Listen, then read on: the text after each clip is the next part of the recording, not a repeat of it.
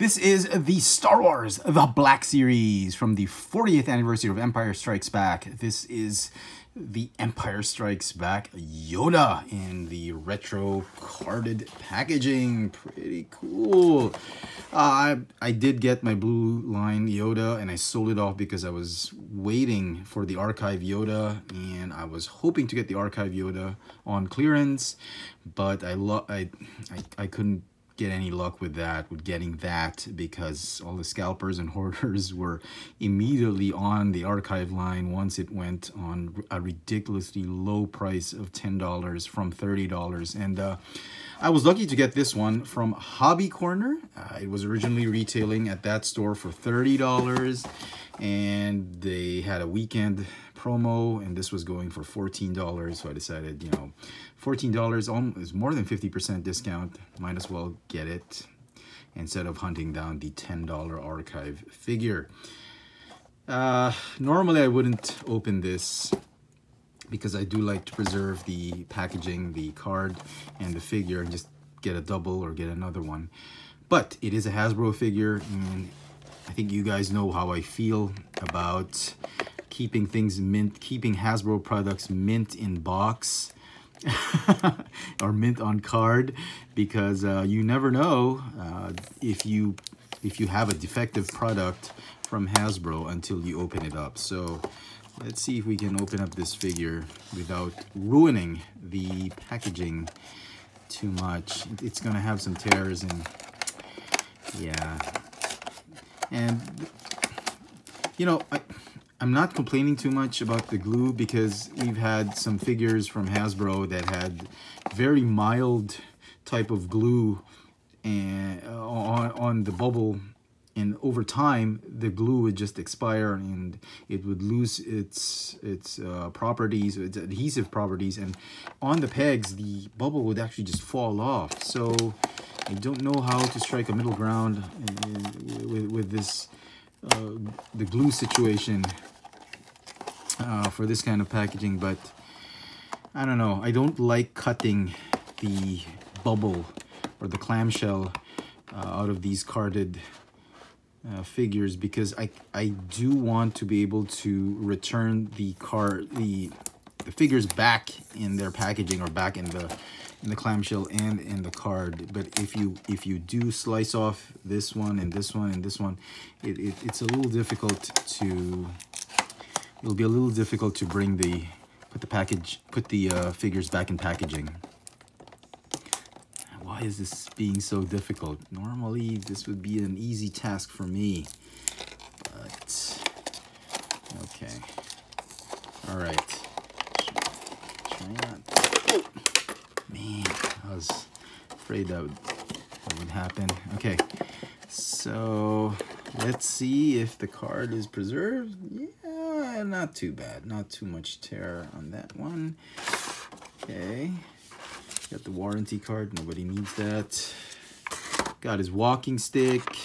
The lightsaber is actually from episode three, and which he which he doesn't have anymore in episode. We don't see him use it in episode five. Uh, the snake is from episode 5, but uh, this Yoda, I believe, Hasbro made it so that it can represent the character for both episodes. Episode 3 and at the same time episode 5 and episode 6, I suppose. kind of wish we would get an episode 1 Yoda and with a younger face. Well, I guess this will serve uh, as as a as a definitive Yoda for any Black Series collection. And it's basically the same figure we got from the blue line. It's just that, give you some light on this, they're, they're using this new face painting technology, face painting app on, on the uh, head sculpt, which really makes it look much better as you can clearly see, I don't have that blue line anymore, but that one looked so much weirder than this one. This one looks a lot better. And no contest, this is the definitive Yoda. It looks to be the same soft goods uh, material fabric they used for his tunic. Uh, you got his belt. You got this necklace, you got the snake.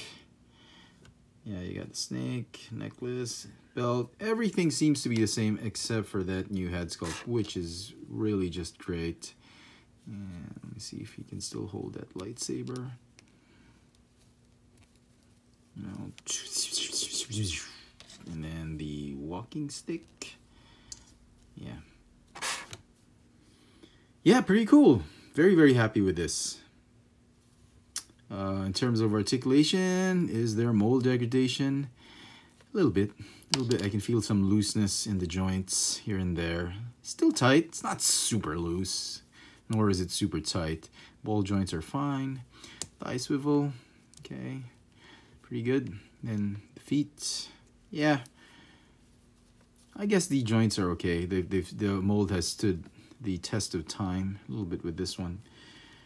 So yeah, but this is this is what you're paying for. Um, this is the this really really incredible, very nicely painted head sculpt is what you're paying for with this new version of this Yoda, and of course the card. So yeah, pretty cool. Do or do not. There is no try. Okay. And so for some size comparisons, here is Yoda together with some other figures, Count Dooku, Obi-Wan Kenobi, Paploo, the Ewok, and the Child. You can clearly see the scale of this figure, perfect scale. Pretty happy with this one. And it, it, I'm actually kind of glad I got this figure late so that I could do this kind of scale comparison because if I'd gotten him early, I wouldn't be able to show off uh, the figure with these other newer figures. And so some final thoughts on this figure. I think it's a great figure. It's a great time to buy this figure, especially if you missed out on the archive or the blue line uh, Yoda figure. This is a great, great figure. You get a great card and you get a updated head sculpt for Yoda. I just wish that, you know, they could re-release this figure and give it more articulation, much like what they did with the Ewok figures. Uh, maybe change his his tunic, his robes. Maybe it could be an episode one Yoda. I don't know. That would be an interesting take on this classic figure and character. I did enjoy this figure. This figure is going to get a 9 out of 10 for me. Best of luck to everybody hunting it down. Uh, let me know in the comment section what do you think of this figure. Do you think one Yoda is enough in your collection or do you need to get all these Yoda figures? Is it a pass for you? Uh, I just hope you don't pay too much for it. Best of luck to everybody hunting him down on retail, especially if you're looking for one on clearance. Um, hit me up in the comment section and as always hit that notification bell so you never miss out on any of my latest video reviews. If it's your first time here, please subscribe. And if you want to help the channel out, help me make more video reviews, please check out my Patreon account. There is a link in the description box below. Any form of contribution will be greatly appreciated. Thanks for watching.